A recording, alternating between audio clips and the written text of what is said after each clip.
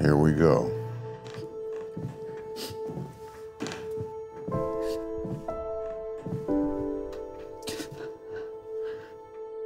I'm so sorry. I don't know what to say. How dare you say that to me? It's over. It won't happen again. Promise.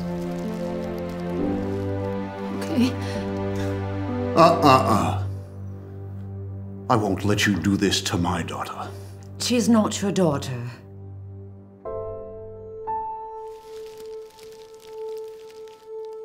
Great girl, anyway.